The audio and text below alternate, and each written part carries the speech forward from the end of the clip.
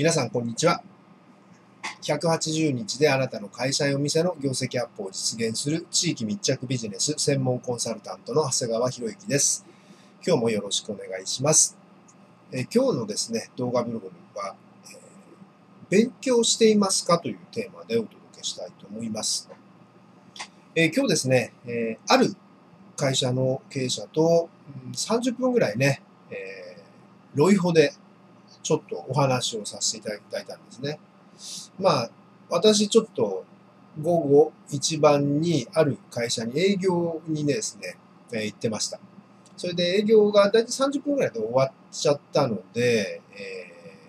ーまあそのお会いしたですね、経営者に電話をしたら、ああ、OK、OK ということで、私今ちょっと外出てるので、じゃあ、あの、あるところのロイホで待ち合わせをしましょうということになって、えーロイヤルホストでこうお話をしたんですね。それでその経営者はですね、えーまあ非常に女性スタッフが多い業界の、えー属するですね、会社なんですけども、それで、まあ、いろんな人が、人っていうか会社とかお店がですね、その業界にあるっていうんですね。あその、いろんな人っていうのは、要はレベルがいろいろあるっていうわけですよね。ものすごく勉強してる会社もあるし、全く勉強してない会社もあるんだという話になったわけです。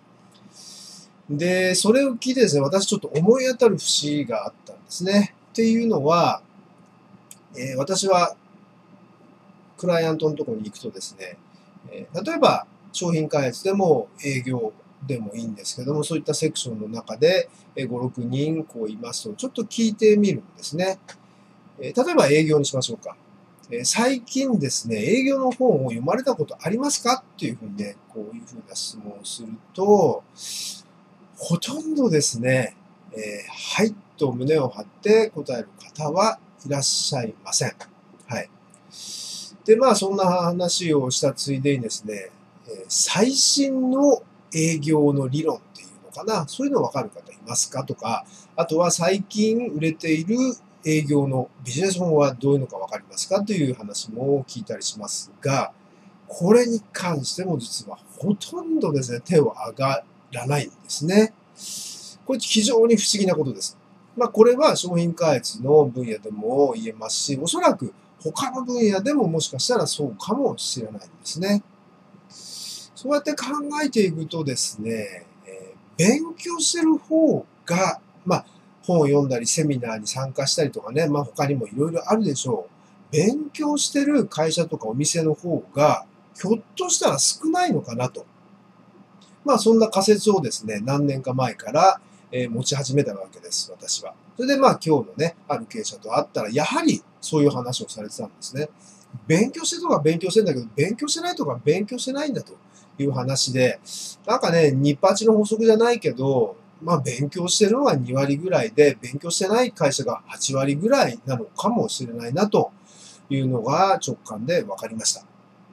さて、皆さんの会社とかお店ではいかがでしょうか？また皆さん個人ではですね、え勉強はされてるでしょうかね？えーこれよくよく考えていくとですね、非常に、え今の日本社会の縮図をここで見てるような気がします。えというのはですね、もう日本の社会がですね、二極化されたって言って久しいわけですよね。え会社もですね、二極化されています。二極化とはどういうことかって言いますと、儲かってる会社は儲かってるし、儲かってない会社は儲かってないんだよということで、これも皆さんご存知だと思うんですけども、業種とかじゃないんですね。昔は、例えば、えーっと、ある業種は儲かっているけど、こっちの業種はもうダメだよとかね、儲かってないんだよとか、えある業種は非常に成長してるんだけど、ある業種はもうすごい縮小してるとか、業種でですね、えーいい悪い、え業績の良し悪しが、え判断できた時代がありました。えところが、えバブルも崩壊しましてですね、長らく、え平成不況不況が続きますと、完全な二極化が起こってしまったんですね。これは業界にあんまり関係ないんですね。業界問わずに業績のいい会社は業績がいいし、業績の悪い会社は業績が悪いと。えそして日本企業のですね、まあ法人だと思うんですけども、およそ8割ぐらいは赤字ではないかなとずっと言われてるんですね。ということになると、まあ、2割はですね、え黒字ということなんですけども、やはり日八の法則で、え黒字を出している2割の会社はですね、そこそこ勉強をされているのではないかなと思いました。えー、とにかくですね、自分がですね、えー、自分の仕事、商売に関してはですね、とにかく勉強しないとこれはいけないですね。え誰のために勉強するかっていうと、まあ当然自分のためでもありますし、えお客さんのためにも、え勉強しないといけないんですね。あ、たった今思い出しました。そういえば昨日ですね、またちょっと全然違う業種の人とですね、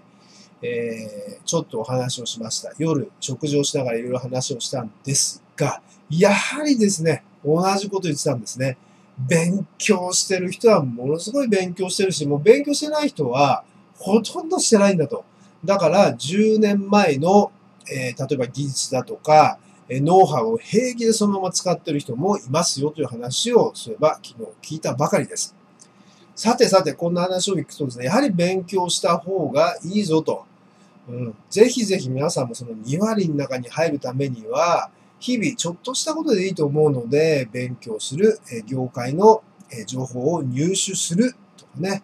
気に留めたことはですね、ちゃんと、ノート、メモに書き留めて、時々見かし見返してみるとか、何でもいいと思うんですけども、まずは情報を頭にインプットしてみる。そしてその情報の源にあたってですね、体験できるものは体験してみる。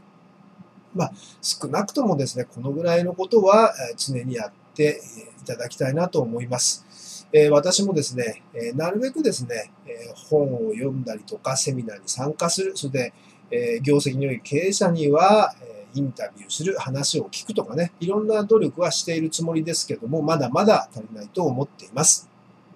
今日も最後までご覧いただきましてありがとうございました。180日であなたの会社やお店の業績アップを実現する地域密着ビジネス専門コンサルタントの長谷川博之でした。